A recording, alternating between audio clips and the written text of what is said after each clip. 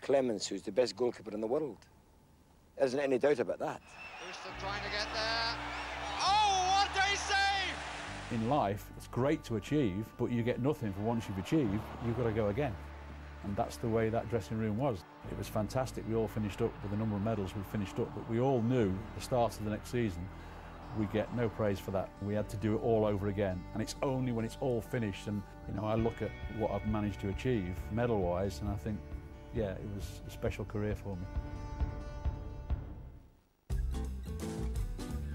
Most of us had to take a summer job to get us, so my summer job was working on the deck chairs at Scunthorpe, uh, in Skegness. Uh, so I was dishing the uh, deck chairs out and uh, all of a sudden somebody came down from the council and said, we've had a phone call from your mother mm. saying Scunthorpe have been on the phone, um, they've agreed a fee with Liverpool, do you want to go? I got on my bike, went back to my house and uh, obviously got onto Scunthorpe and said, yeah, I'd love to have the opportunity. And the following day I came across with, in a Rolls Royce, with Chairman's Rolls Royce, to, to Liverpool to meet the one and only Bill Shankly. Ray has all everything He's quick. He doesn't want to be beaten. He's just a great goalkeeper. He said, uh, we've watched you a lot, son. He said, we're impressed with what we've seen. He said, we think you can be in the big team, as he used to call it. He says, we've got Tommy Lawrence here. He said, Tommy's, you know, past his best now, 30 years of age, and uh, you keep improving, you'll be in the team within six months. Came back for pre-season training, um, and within a week, found out that Tommy Lawrence wasn't past his best, wasn't 30 years of age, he was 27 years of age, playing at the peak of his career, and I had to wait two and a half years to get in the team. So he did kid me a little bit, but it was worth the wait. I was a raw 18-year-old boy, you know, coming from Skegness, just coming to a big city like Liverpool was, was you know, massive for me. The first team was doing well. Um, Tommy was playing exceptionally well, so quite right, it was impossible for me to get a chance in that team. And that's when really Joe Fagan, who was then the reserve team manager, he was brilliant in that last season because he knew I was frustrated and he knew it was difficult for me. Um, and he kept having little chats with me and telling me to be patient and the opportunity will come and when it does come, you've got to make sure you're ready to take it and make sure you are prepared for it.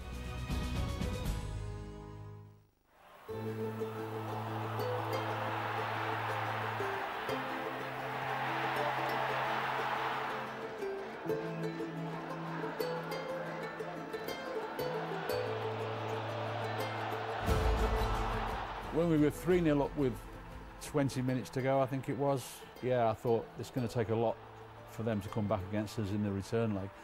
And then, of course, uh, in that last 20 minutes, Stevie Heighway gave away a penalty and um, the World Cup player, Jupp Heynckes, took the penalty. I'd seen and heard that he, just, he did like to put them to my, to my right-hand side, so I thought in this situation I'm going to take a chance. As you, as you ran up, he hit it, thankfully it went right, I went right and managed to save it. Now, at that time it still didn't seem a massive thing because we were winning 3-0. But of course we went out to Mönchengladbach for the second leg and they had a midfield player called uh, Netzer who was magnificent and he just ran the game.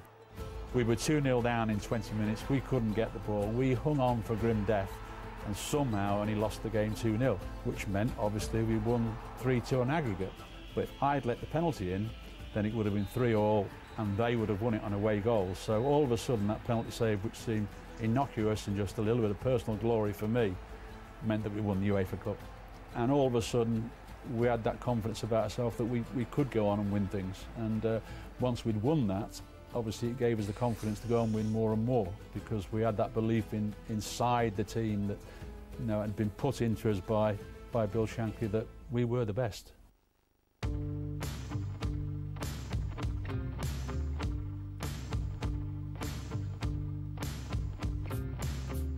Bob, I remember his words, he just came in the dressing room and said, you know, nobody expected me to be here, I don't actually want to be here, but Bill has left and somebody has to take this on. But I'm not going to change anything, we're going to continue to do everything that Bill did and we just do it better.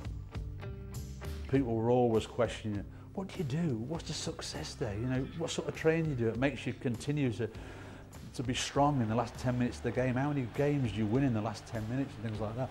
And they would never believe you that actually all we did was play five-a-side and seven-a-side football. But the seven-a-side football was always played at a competitive pace that the coaching staff would not allow you to not play at match pace in those games. But it just taught you to pass the ball and keep the ball. And that's why we were successful. That's why we won so many games in the last 10 minutes because we had the ball, the ball more than the opposition. And we all know it's more tiring running around without the ball than it is with it.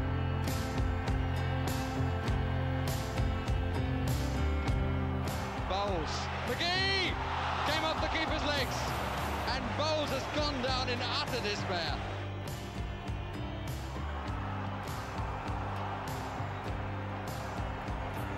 It was probably our best year in terms of we felt we were unbeatable. No matter who you put out against us, wherever it was, we had a chance of winning that game. I mean, of those 16 goals in 21 home games, we only conceded four. So, you know, that again was just unheard of in those days. I had such a magnificent team in front of me, then I didn't have many saves to make. But I hope that when I did have things to do, I did it for the good of the team and uh, for the good of the supporters as well. So, uh, yeah, simple and effective, I think, is probably the best way I'd talk about myself.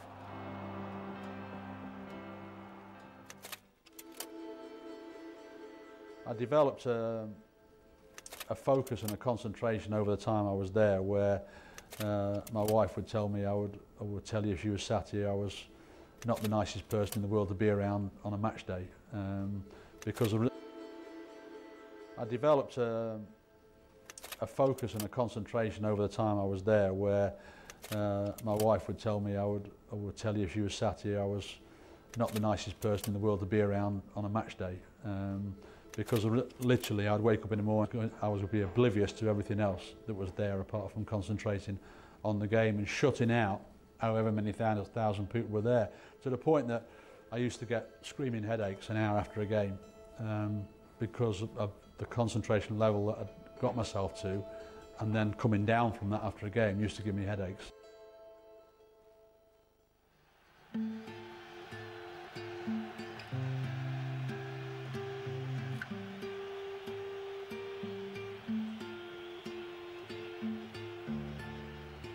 Third European Cup final in Paris against Real Madrid. You win it 1-0. It really shouldn't get any better than that in football. Um, and I sat in the dressing room afterwards with all the mayhem that goes around winning um, a European Cup. And I had my cup of champagne in my hand and I just looked at it and it was just like another day at the office. And within half an hour of winning my third European Cup final medal, I decided that it was actually time that um, I needed to make a change because I'd always been fully motivated, always strived to be the best I possibly could. And I thought, well, if I'm not on the ceiling for something like this, then I need to go and challenge myself somewhere else. Initially, it wasn't a difficult decision in that dressing room, but obviously when I got home, I told my wife and my friends and everything, and nobody could believe it. And the longer it went on, the more difficult it was getting to stick with it. And obviously, you know, there was a couple of times when I thought, am I making this right decision? Uh, because this is just such a magnificent place to play and, you know, I'm not going to get a better place than this to play, that's a certainty. Um, and I need to find a team that will be in Europe and has a chance of winning things before I do go anywhere. I'm not just going to go anywhere um, after this fantastic place. And luckily for me, Tottenham came in, who were an up-and-coming side, had just won the FA Cup, and I just thought it was the right thing for me to do.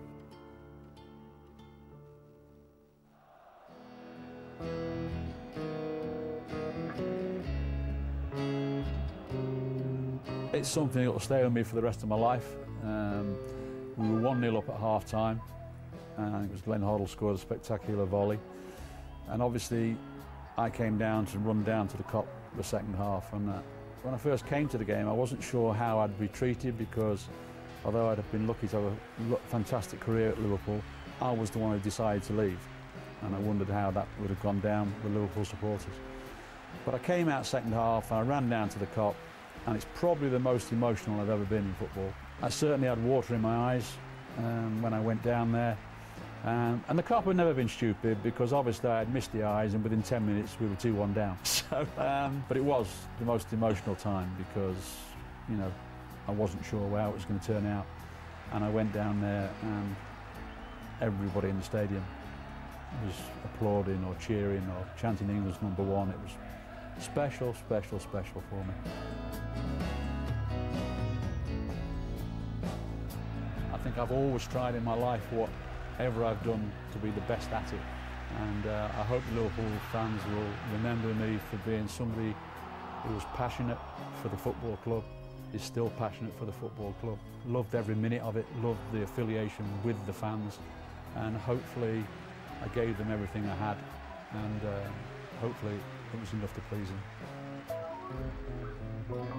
them.